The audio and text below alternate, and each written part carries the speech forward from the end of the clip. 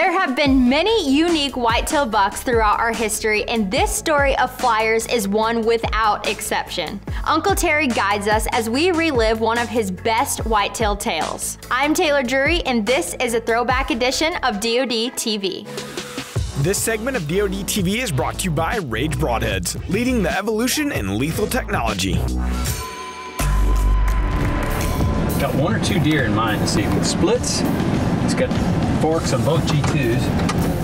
And another one, uh, I call him Flyers because he's got he's got two little flyers off of his uh, left G2 and one flyer off the other G2.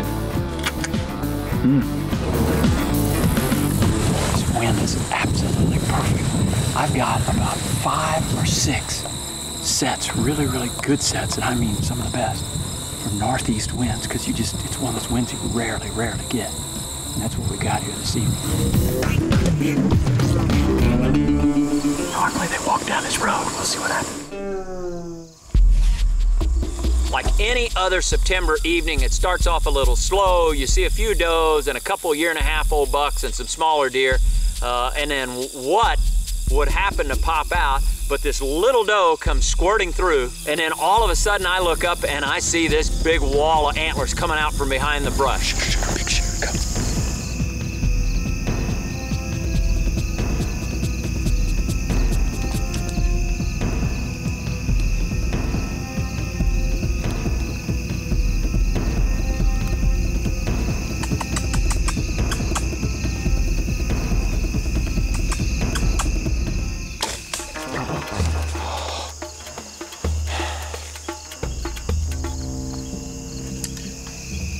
Shot, I don't know how many does in that exact same spot right there. The mistake I made was not getting him to stop 100%. He was still rolling forward and I was trying.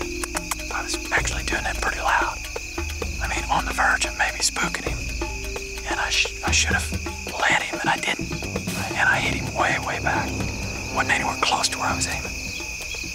Well, it ended up right where, right where the arrow was good up and down. It was just terrible left and right should have let him and he rolled forward.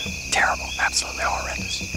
And the only possible way of, of recovering that deer is if I cut that back, that artery, that main artery that runs down. Start that, that the uh, front goes all the way to the back and then comes down their leg. But if I didn't cut it, chances of recovering that animal pretty slim. We will more than likely let him lay tonight, even though the temperatures are, are pretty warm. It's not, it's not cool, Okay, appreciate it.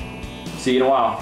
Bye. That was Brother Mark. I just got off the phone. We watched the footage, and uh, I'm still not happy with the shot. It was, it's, I've made some bad shots, but that's the worst one I think I've ever made. And uh, I just talked talk to Mark, got off the phone with him. He's turning, he's coming this way. It'll be a couple hours till he gets here, but I am tickled to death that he's coming up because he's got better eyeballs than I do. We're gonna be looking for blood tomorrow morning.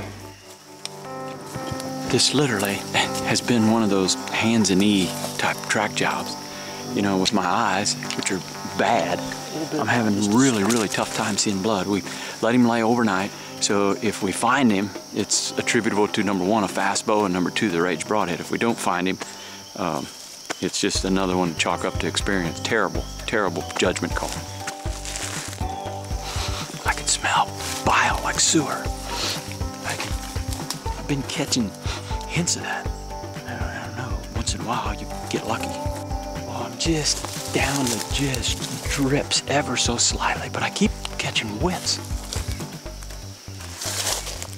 Look here, look, right here. Where? Yeah! What a big giant. For anyone that's ever followed our video series of television shows knows that I've I've had my problems throughout time with uh, these big deer.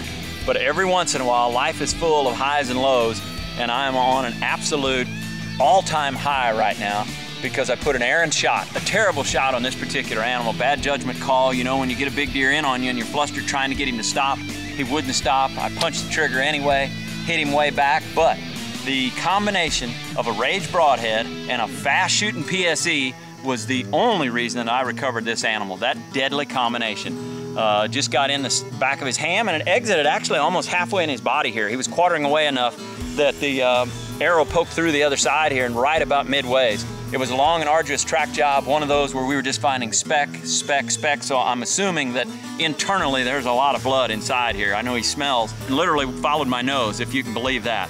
Uh, but we could smell him just coming down the hill here, and he is an absolute giant. You know, and there's always a decision-making process that you go through. We have the luxury to review the footage over and over on video, and with that particular hit, there was no question that I was going to wait overnight and try and recover him this morning, and that's exactly what we did.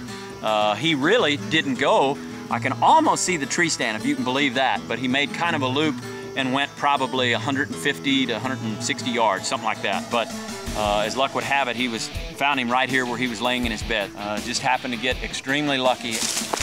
Yeah. What character this particular buck has, he's got stickers all over. I nicknamed this deer Flyers because I had so many photos, but he's got one, two, three, four, He's got four flyers that are just kind of abnormal points. And uh, his mass is just incredible. It runs all the way throughout. And uh, he's just a, a, phenomenal deer, gonna make a beautiful mount. Can't wait to take him to a taxidermist and uh, get him hung on a wall. This is a beautiful, beautiful deer. I'm extremely, extremely lucky to recover this animal.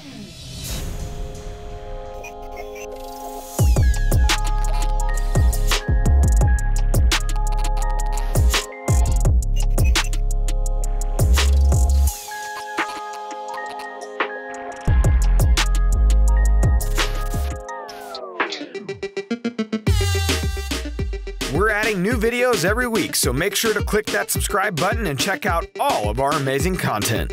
This episode of DoD TV was brought to you by Mossy Oak.